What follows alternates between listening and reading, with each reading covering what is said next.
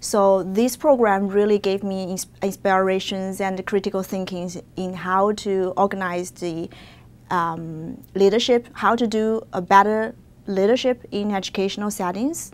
So I, I think this, is, this program uh, really benefits me a lot as I was working in um, administrator back in China. The Faculty of Education gave me so much time answering my questions and organizing social events. We really have a lot of great support and uh, um, help from the Faculty of Education. The, um, I think the academic coaching program supported international students with um, guidance in their coursework as well as organizing series of workshops and seminars.